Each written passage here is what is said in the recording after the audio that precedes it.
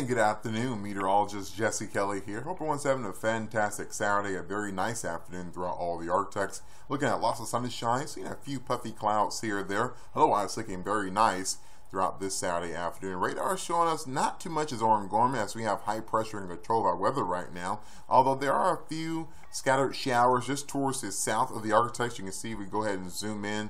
Uh, there are a few showers along that sea breeze just towards the uh, north of Natchitoches, in between uh, Derry and Natchitoches. Other than that, things are quiet for this evening.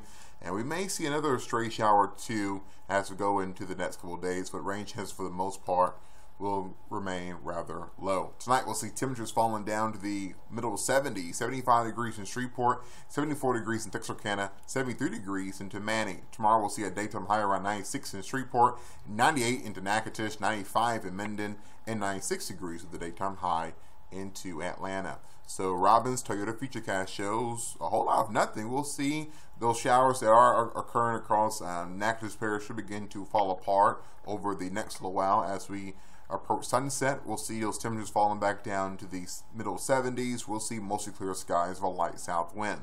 As we go into Sunday afternoon, we'll see more of the same. Lots of sunshine. We'll see a few passing clouds here or there. Otherwise, looking very nice.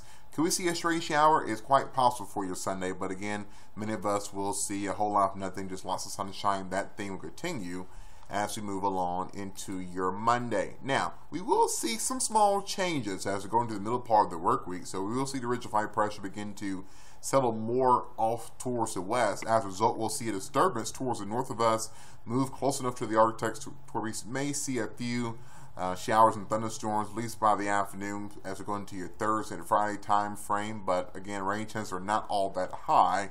But eventually, we'll see the ridge of high pressure begin to move back to the east. Now, another model says that we could see more high pressure ridging to the area, which will lead to more hotter temperatures. So we'll continue to fine tune that forecast as we get closer to the time. Now, I want to show you one more thing real quick. The tropics are relatively very quiet right now, which is some good news.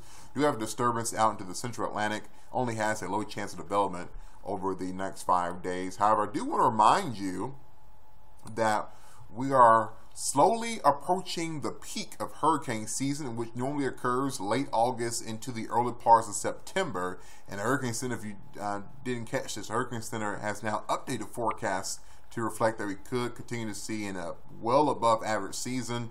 We could see um, anywhere between 19 to 24 to 25 named storms between now and by the end of hurricane season. So if that was to occur, if we were to get up to about 24, 25 named storms, uh, currently, we have 21 named storms. That would be additional four, and those additional four storms would be a part of the Greek alphabet. So again, something that we will be watching for very carefully. But the good news is that, that the Atlantic and the Gulf of Mexico, as of right now, is relatively quiet. Hopefully, it stays that way for the nearby future. Your next seven days shows a pretty consistent forecast. You'll daytime highs, middle 90s, lows at night, middle to upper 70s, and we'll see a decent opportunity for thunderstorms beginning by Tuesday and Wednesday. Best chance of rain this week will likely occur for Thursday and your Friday.